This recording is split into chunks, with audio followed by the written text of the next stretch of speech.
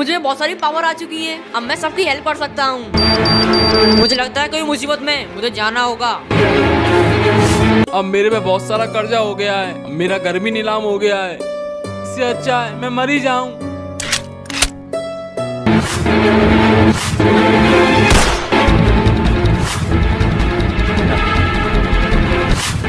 अरे मैं तो बहुत फास्ट हूँ। लगता है कोई मुसीबत में मुझे जाना होगा। अरे सिट